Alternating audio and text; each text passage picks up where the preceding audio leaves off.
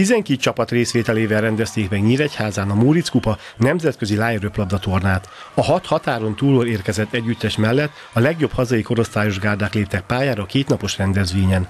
Az eddigi négyszeres győztes Múric ezúttal elvérzett az elődöntőben, sőt a bronzmeccsen is fejet kellett hajtaniuk Moraszki Gyuláni tanítványainak a hazai rivális Bemnyírsuli előtt. Sajnos nem védtük meg a címünket.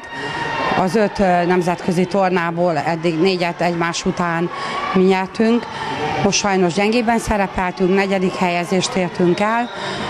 Döntőbe jutásnál kikaptunk a Szatmár németi adept csapatától, aki azt lehet mondani, hogy az élmezőnyben is nagyon erős csapat, mi pedig sajnos nem éltünk a lehetőséggel, és nem igazán jött össze az a tudás, az a lelkesedés a lányok részéről, aminek össze kellett volna jönni egy ilyen hazai rangadón.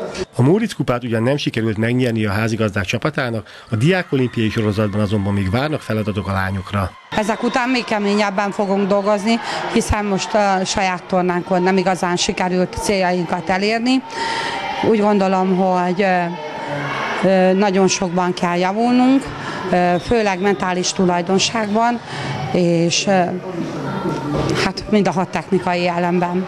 Ha azt akarjuk, hogy megvédjük a tavalyi diákolimpiai dicsőségünket és hírnevünket és címünket, akkor azt gondolom, hogy most ezt a tornát egy kicsit át kell ugrani, nagy levegőt venni és kezdeni mindent újra előről. Az ötödik Móricz kupát végül a szatmár németiek nyerték meg a Békis Csaba előtt. Harmadik a Bemnyírsuli, negyedik a Móricz lett. A tervek szerint a két nyíregyházi gárda közös csapatot indít majd az országos gyermekbajnokságon.